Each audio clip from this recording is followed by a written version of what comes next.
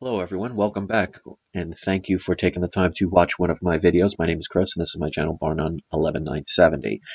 Um, if you've been around for a while watching my channel, you know pretty much a lot of my videos have the ability to help people help make people think.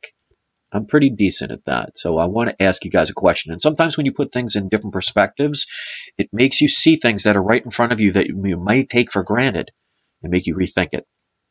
So I'm going to talk about defense. Now, um, when if you've ever played a video game in your life, let's say there's a video game where you are the king of a castle and you have to defend your castle from other video game people trying to take over your castle. Now, if with the word defense, you're defending your castle, that's your sole job. Where is the best place for your soldiers to be?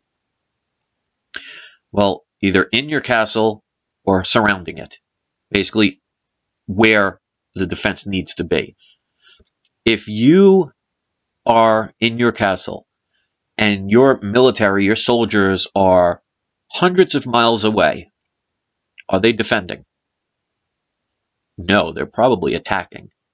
So let me ask this question to all the people that listen to every day about, especially in this country, the United States of America Corporation, how if you ever see an advertisement for the military, whether it be Army, Navy, Air Force, Marines, they're always talking about how their soldiers are out defending the country. Now, where is the majority of our military? Are they here in the United States Corporation? Because isn't that what defense is? If you're defending the country, shouldn't you be here to defend it? Well, where is the majority of of the military? Well, they're in other countries. Is that defense or offense when you're in the other territory? Think about football. When you're defending your one yard line and keeping the other team from trying to cross it, you're right near where you're defending.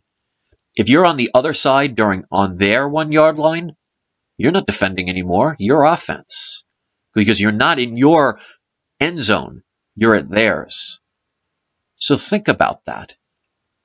I know people love the military. I know it's the patriotic thing to cheer on, but you don't know what you're cheering because those soldiers don't work for the same people that defended this country and made this country possible in the American Revolution. Watch my other video I made the other day, the condensed version of the Truth of the United States Law and You, and you will learn that our military works for a corporation owned by the British Crown called Washington. Well, the corporation is known as the United States, registered in the District of Columbia, which is owned by the Bank of London, which ultimately is owned by other people, but we're not going to get that deep. So the military, if their job was defense, they should be here defending from people oppressing us. But yet, our soldiers are on the other team's end zone. That's offense, not defense.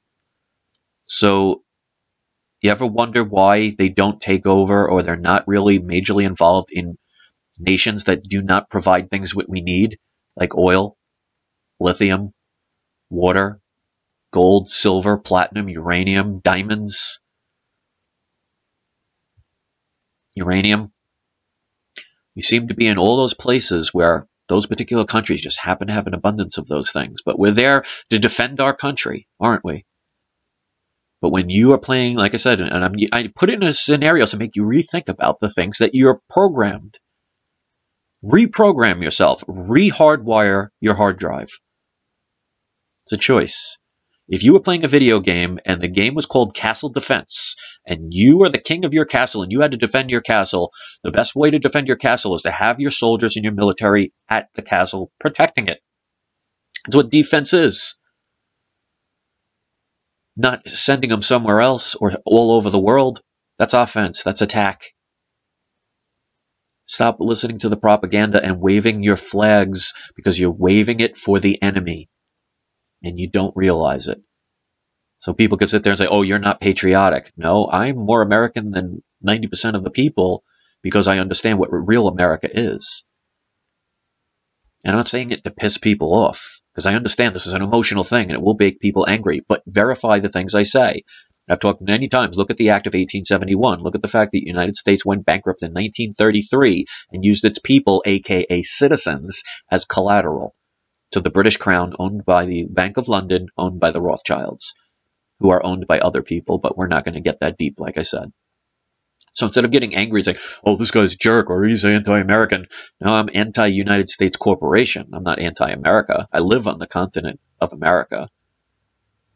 But the United States is nothing more than a registered trademark corporate name located in the District of Columbia. And if you've ever marked a box that says, Are you a U.S. citizen? and you mark yes, you have given up your rights as the 13th Amendment protects you as a legalized slave because you have given over your authority or your servitude.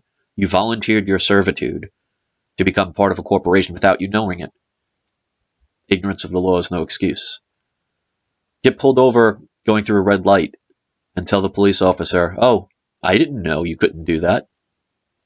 And see if they let you go. See if they say, oh, you didn't know? All right, go ahead.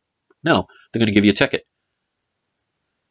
Be in court for murdering somebody and tell the judge, oh, I didn't know you couldn't do that.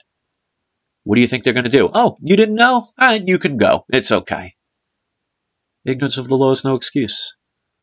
So if you don't know what you're signing, well, first of all, you shouldn't sign it because if you know anything about law, law is based on presumption and assumption. They're assuming you know what the law is because why else would you sign something? The catch 22 is they technically don't give you full disclosure of what you're signing, so technically what they're doing is fraud. It's just no one challenges it.